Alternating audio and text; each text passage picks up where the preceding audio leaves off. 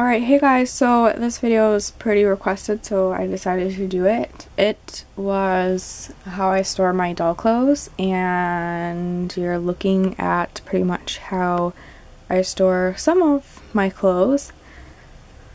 Um, in the drawer, this is the, um, Our Generation wardrobe closet, by the way. And in the drawer I keep most of my pants and then some more stuff that doesn't fit in the drawer and some more shirts that I don't have any hangers for. And I store most of my, well all this stuff is like summer stuff right now. So I have some sneakers, sandals, and some flats. And then shorts and capris and stuff like that right there. And then tank tops and then short sleeves. And I have some like three quarter sleeves too. Okay.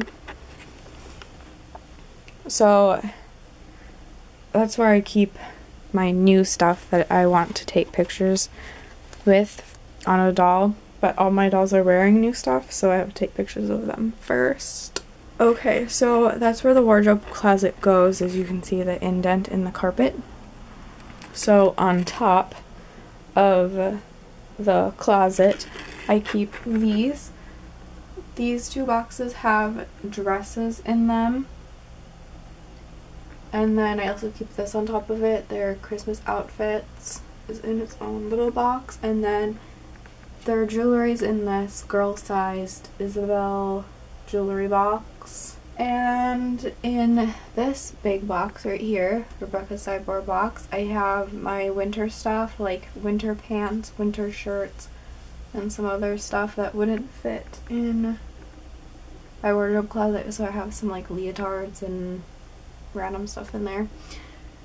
The top box is the that it says shoes and slippers, so I have boots and other winter shoes in there.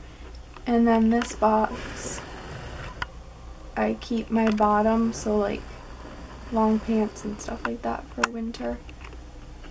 So that's basically where I keep my doll stuff, well, doll clothes how I store it and stuff. So I hope you guys enjoyed this video.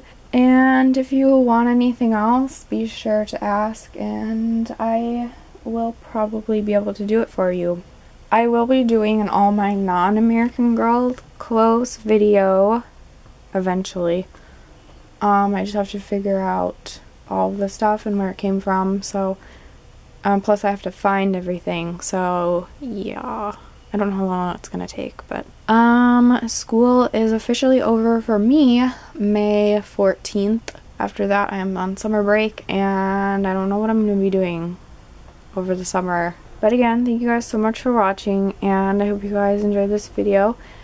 Please comment and subscribe, and I'll talk to you in the next video. Bye!